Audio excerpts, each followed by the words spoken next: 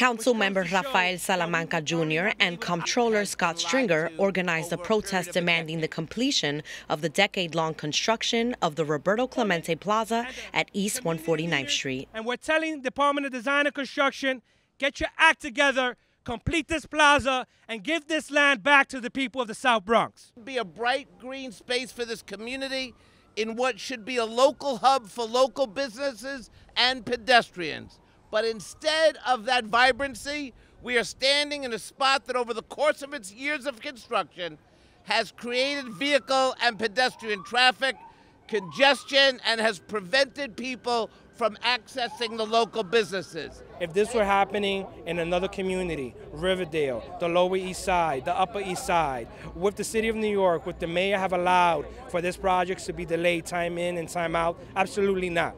I mean, we've been told many different things over many years. Uh, sometimes it's a problem with the contractor, sometimes there starts and stops.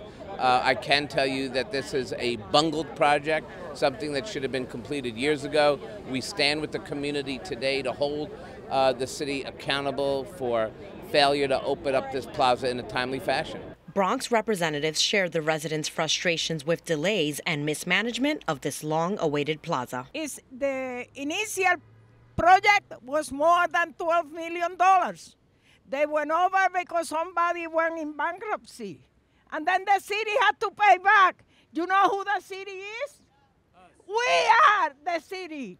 We are the taxpayers. We have to stop this, and this has to stop now. We cannot wait anymore.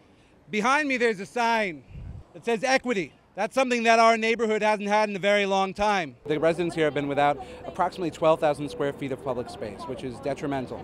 Uh, on top of that, be because of the construction site, we've had businesses close. Uh, we've had an uptick in crime. One local store changed its name to Plaza Discount in hopes of more pedestrian traffic, but were instead faced with business decline. We are just pushing, pushing, pushing.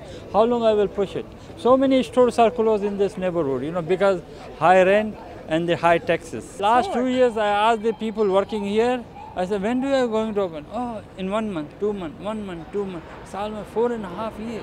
The government is not going to subsidize my business. Closed sidewalks and blocked paths have also proven to be a danger for many commuters who are forced to walk around the area as a result of the obstruction. It's very dangerous. They should have a, a um, some that you can walk through and stuff because I mean any car could just come boom and hit you. What they waiting for an accident to happen? I mean they need to fix it fast, you know, because it's been a while closed down and stuff like that. You got people and kids walking on the side, you know. They, they should fix that soon. This is actually a bus stop. It should have been fixed this a long time ago. All they did was mess it up, putting this here. They messed it up. For elderly people and for regular people that's walking across the street, they need to fix it quick.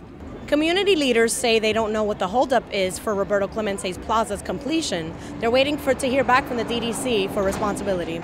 Reporting for BronxNet, Sanji Lopez.